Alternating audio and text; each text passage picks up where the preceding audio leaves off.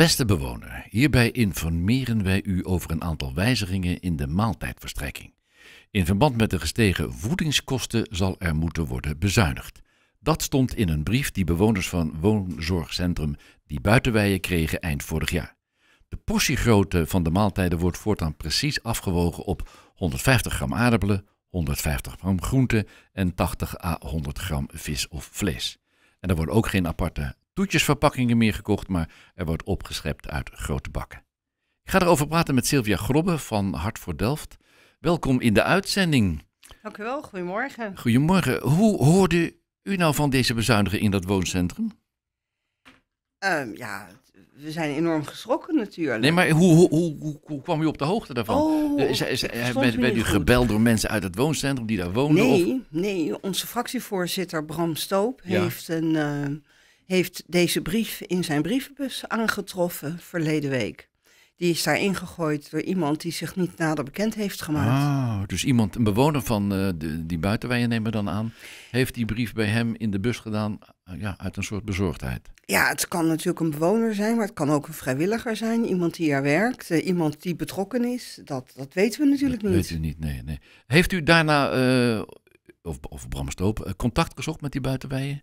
Te kijken wat ze daarvan vonden? Um, nee, dat hebben we niet gedaan. We, hebben, we wilden eigenlijk dus zo'n grote publiciteit helemaal niet, niet, niet, niet oprekken. We, we wilden alleen um, dit aan de kaak brengen. En, nee, maar ik kan me voorstellen dat voordat je dat doet, dat je denkt van, nou, eens even vragen wat, hoe, hoe dat nou uh, precies gelopen is. Dat hadden we inderdaad kunnen doen, ja. maar daar hebben we niet voor gekozen. We hebben de, de brief hebben we op onze website gepubliceerd. Ja. En toen is het gaan rollen. Ja, dat, dat heeft is, wat teweeg ja, gebracht, hè? Nou, want het inderdaad. is inmiddels landelijk nieuws geworden. Ja, dit, uh, dit, dit, daar zijn we enorm van geschrokken. Over alle reacties, alle mensen die ge-mailed hebben, foto's hebben gestuurd van eten. Mijn, mijn e-mail-postbus is dagelijks echt helemaal vol. Ja, hebben echt en, mensen foto's gestuurd van hun maaltijd? Mensen sturen foto's van hun maaltijden, ja, inderdaad. Ja. Ja, hoe die maaltijden eruit zien en wat er allemaal op ligt. En, en blijkbaar gaan mensen nu ook zelf hun maaltijden wegen. Oh jee, om te kijken of ze die 150 gram halen. Ja, het is ongelooflijk. Ja, want ja. op zich is 150 gram aardappelen en groenten ook niet zo heel weinig, toch? Ik bedoel, ik denk niet dat ik meer eet. Ja, ik, ik weeg eten nooit. Ik ook niet, um, maar bedoel, de twee, drie aardappeltjes op je bord, dan heb je toch 150 gram? Um, ja, als je twee, drie aardappeltjes eet, inderdaad. Maar ik eet wel wat meer, hoor. Oh, nee, ik niet hoor, nee. nee. Maar goed, uh, wat kan, want u bent gemeenteraadslid, ja. u heeft het nu aan de kaak gesteld. Wat kan de gemeenteraad hier aan doen eigenlijk? Ja, ik denk niet veel. Dat denk ik ook, nee, ja. dat, ik heb wel uh, natuurlijk schriftelijke vragen gesteld, direct dezelfde dag, aan, uh, aan wethouder De Gooier. Ja. Om, en ik weet niet of u de vragen gezien hebt. Nee. Maar daar heb ik een paar belangrijke vragen in gesteld. En ik, ik heb ze even voor me, dat is wat makkelijker. Ja. Ik heb gevraagd aan de wethouder of bij haar bekend is of er meer verpleeg- of verzorgingstehuizen deze bezuinigingen invoeren. Want waar we het eigenlijk niet dan over hebben is dat nu worden het geen bezuinigingen meer genoemd, maar nu wordt het een onhandig geschreven brief genoemd. Ja. Terwijl in die eerste alinea die u net voorlas, toch heel duidelijk uh, de bezuinigingen benoemd worden. Ja, dat is ook misschien het onhandige ervan om het zo te noemen. Want ja. het heeft ook te maken met duurzaamheid. Ik begrijp dat ze ook heel ja, veel natuurlijk. weggooien. Tuurlijk, Gooi tuurlijk. Er moet weg helemaal geen voedsel weggegooid Nee, worden. nee. Maar ik heb dus nog die eerste alinea die u net voorlas bestudeerd. Ja, En daar ben ik tot de conclusie gekomen, ik heb het ook netjes opgeschreven, dat hier gewoon goed over nagedacht is. En het probleem wordt geschetst en Ja. er wordt er ook een oplossing aangedragen. En dat lijkt mij toch niet onhandig. Ja, het kan aan mij liggen, maar hier is toch echt wel over nagedacht, over deze alinea. ja ik neem aan dat als, eh, dat een, als een communicatiemedewerker van zo'n groot bedrijf van Pieter van Vreest een brief stuurt naar de, naar de bewoners, dat ze, dat ze daarover nadenkt. Dat ben ik met u eens. Ja, Eh, maar ik kan me ook voorstellen dat er meer is dan alleen bezuinigen. Ik bedoel, er wordt, dat weet ik ook uit, uh, uit bronnen uit het, uit het tehuis, er wordt veel weggegooid. absoluut. En dat is ook niet de bedoeling. Nee, En dus er moet maatwerk geleverd Ja, worden. ja. Het is eh, heel simpel, maatwerk. ja, dat dat betekent, maar ik, als ik het nou goed begrepen heb, is het ook zo. Kijk, je krijgt 150 gram eh groente en, en aardappelen.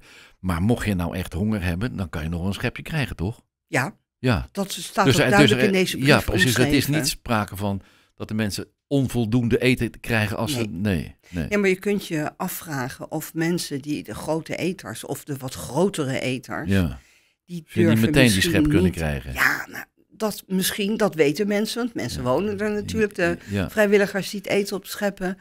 Maar durf je ook elke dag om meer eten te vragen? Ik, bedoel, ik kan me ook zo voorstellen dat mensen een bepaalde gêne hebben en dan niet durf, ervoor durven uitkomen dat ze meer willen eten. Ja, ja ik, ik denk gewoon, het is onhandig. Het, is het, niet het had leuk geweest als je de bewoners in een zaaltje bij elkaar gezegd, mensen, dit is het probleem, zo gaan we het oplossen. Uh, hebben je nog vragen? En, dan had misschien wat handiger geweest om het op die manier te introduceren dan via een briefje in de bus. Dat klopt, maar om u te onderbreken, niet iedereen zit in een zaal. Nee, er zijn natuurlijk ook mensen die bedleger ja, zijn. Die kunnen daar niet komen. En in hun kamer verblijven.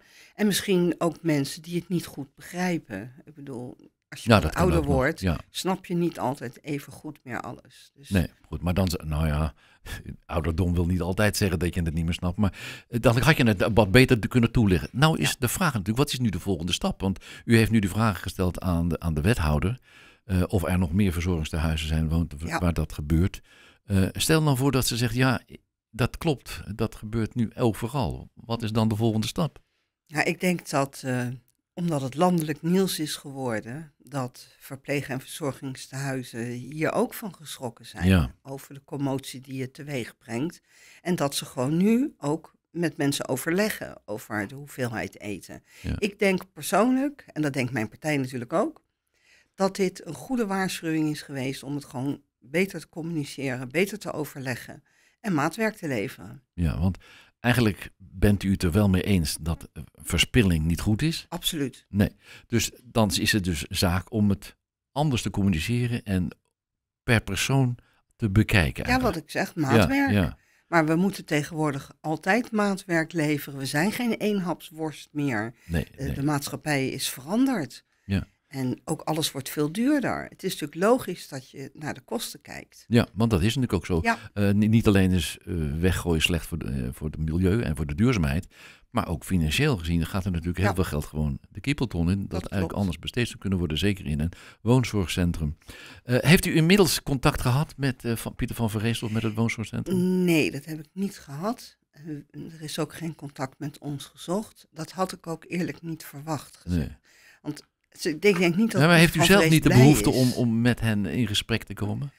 Um, nou, wat, wat ik wel weet is dat het niet overal is. We hebben ook, dat is even een positieve noot. Ik heb ook echt hele goede reacties gehad van mensen die gewoon heel lekker en gezond eten en kunnen opscheppen wat ze willen. Mijn schoonmoeder zit in een van de Pieter van Foreest um, althans, zij eet daar. Ze zit, niet, ze zit in een aanleunwoning. En zij is volledig tevreden. Ze kan heerlijk eten, grote eter, mag twee keer opscheppen. Dus het is absoluut niet overal. En dat vind ik toch ook wel heel belangrijk om dit in de uitzending te vertellen. Ja, nou, dat, goed dat u dat nog even doet. Maar mijn vraag is dan nu toch, uh, nu, dit is nogal wat commotie, het is landelijke commotie. Het gaat gelukkig op andere plekken goed.